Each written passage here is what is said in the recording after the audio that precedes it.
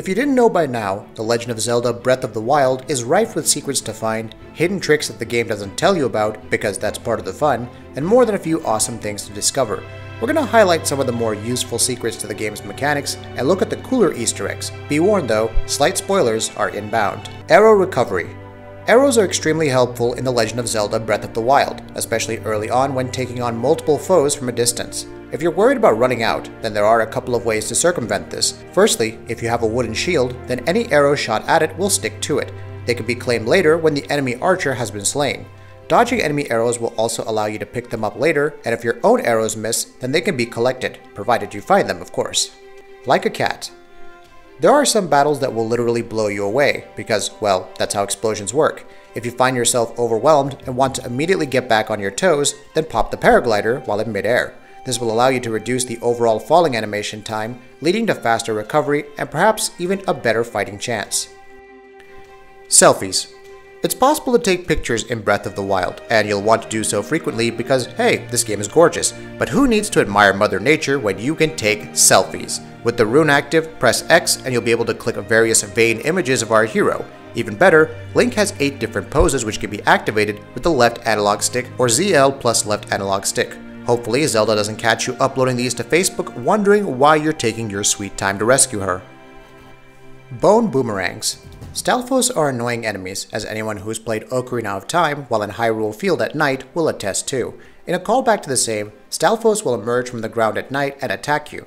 Knocking off their heads causes them to search around for their missing body parts. Those same body parts can be used as weapons, but in an interesting twist, you can actually take a Stellae Zalfos' arm and throw it like a boomerang. Yes, it will actually return to you upon throwing it. Shield Surfing Of the many ways to travel in Breath of the Wild, shield surfing is perhaps the coolest. Link will essentially prop up his shield and use it like a surfboard for limited periods of time. You can even execute tricks like a 1080 degree spin, cowabunga, surfs up, and all that jazz. Make sure you have a pretty sturdy shield though. They allow shield surfing over longer distances and won't lose their durability on rocky surfaces as quickly as lesser shields. Swim faster. Sometimes Link just has to get naked. No, not completely naked, which doesn't seem to be possible. Anyway, in Breath of the Wild, much like in real life, Link will swim faster if he has no armor on. Also, approaching NPCs with barely any clothes on will result in awkward reactions, but the swimming is where it's at, for sure. Special Pain Animation You probably enjoy seeing Link in pain. In that case, there's a special animation that occurs when opening treasure chests. Simply try opening it without any leg armor and Link will go through this animation.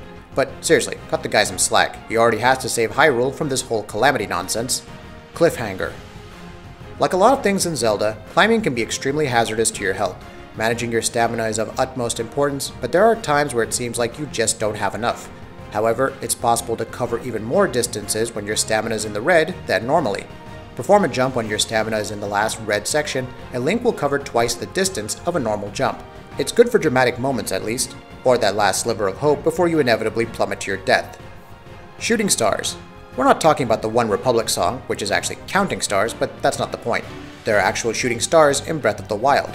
More importantly, if you head to wherever they land, you can recover star fragments. These are useful in certain recipes and can even be taken to Great Fairies to upgrade certain equipment. Guess you should stop counting rupees and start counting stars, right? Cuckoos. Cuckoos make their return and are as violent as ever. Strike a Cucco too many times and it will summon a herd of Cuckoos to annihilate you. However, sometimes upon hitting a Cucco, it will lay an egg. Risk slash reward, right? Alternatively, if you want to see an enemy lynched by Cuckoos, simply throw one at them. They'll proceed to hit the Cucco, thus summoning the swarm of Hellbirds to their position. Let it not be said that Breath of the Wild doesn't allow for creative murder. Fire immunity. Fire is bad and can often hurt. Real knowledge bomb, right? It's possible to have immunity to fire with a level 2 Flamebreaker armor set, but until you get that, there is an easier way to make Link flame retardant.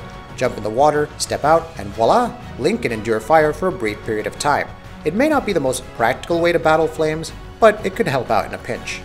Mysterious Text Translation Breath of the Wild has its own language, which has been translated into English thanks to erstwhile fans. In the beginning of the game, when Link activates the plateau's tower and takes the map data for his Sheikah slate, you'll see these mysterious markings. According to a translation of the text, you get the message, Master using it, and you can have this. This is a callback to the very first Zelda, where the old man delivers the same message, offering upgrades to your sword when you have a certain number of heart containers. That's not the only reference to Zelda 1 that you'll find though.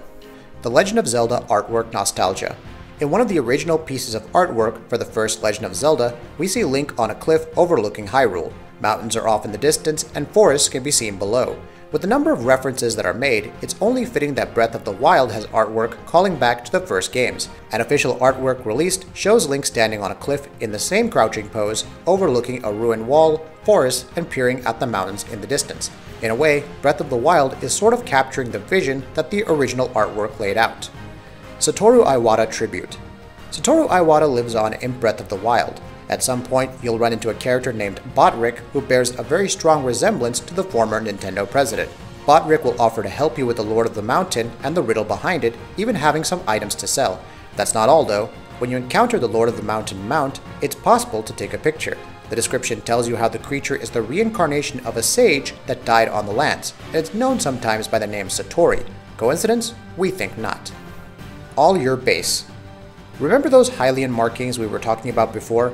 Somewhere in Breath of the Wild, there's Hylian text that can translate to all your base are. For the uninitiated, this is a reference to the quote from Zero Wing, in which Kat says rather infamously, all your base are belong to us. This badly translated quote has pretty much made history, and of the many things that Nintendo refuses to let die, this is certainly one of the funniest.